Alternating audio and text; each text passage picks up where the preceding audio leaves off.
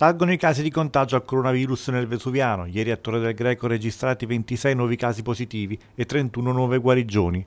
È quanto trasmesso dal centro operativo comunale dopo il consueto aggiornamento serale con i responsabili sanitari dell'ASL Napoli 3 Sud e con l'unità di crisi regionale. Attualmente a Torre del Greco sono 683 i contagiati, di cui 39 in regime ospedaliero, resta a 98 il dato dei decessi. Nelle ultime 24 ore certificati 14 nuovi casi a Torre Annunziata, a fronte di 92 tamponi effettuati. Al contempo si registrano anche 21 guarigioni. Il rapporto tamponi positivi si attesta al 15,21%.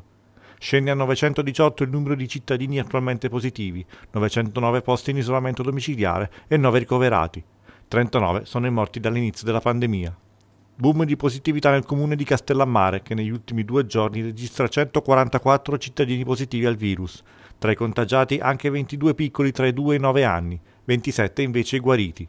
Ricordo che nelle scorse ore il TAR ha respinto il ricorso di alcuni genitori che chiedevano la riapertura delle scuole di Castellammare di Stabia, una sentenza che ci dà ragione su tutta la linea e che conferma la necessità di adottare misure restrittive in questa fase, a tutela della salute pubblica, ha affermato il sindaco Gaetano Cimmino.